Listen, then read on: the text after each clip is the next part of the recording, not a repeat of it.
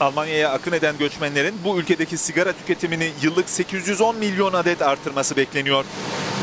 Almanya 2. Dünya Savaşı yıllarından sonra Avrupa'nın gördüğü en büyük göçmen kitlesini ağırlıyor. Dünya Sağlık Örgütü'ne göre çoğunluğu Suriye'deki iç savaştan kaçan göçmenlerin arasındaki erkeklerin yarısı sigara tiryakisi. Yılda ortalama 1000 adet sigara tükettiği belirtilen Suriyelilerin Avrupa'nın en büyük sigara pazarı Almanya'da sigara içenlerin oranını %1 artıracağı öngörülüyor.